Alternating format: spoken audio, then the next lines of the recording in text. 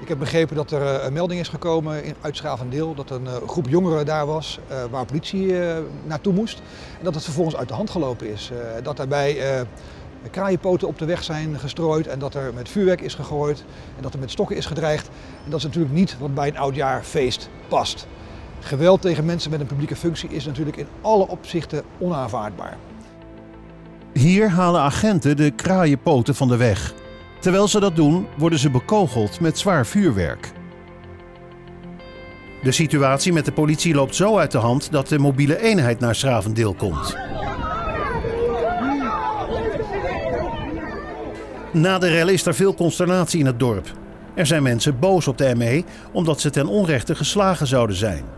Daarom is het OM en de politie er veel aan gelegen om uit te zoeken wat er nu precies gebeurd is tijdens de Auto Nieuwnacht.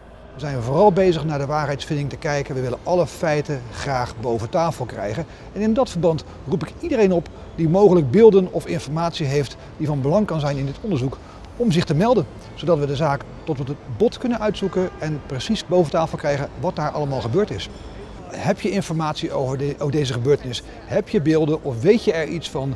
Meld je bij de politie. Dat kan in persoon en dat kan eventueel ook anoniem. Bel 0800 6070 of met Meld Misdaad Anoniem 0800 7000.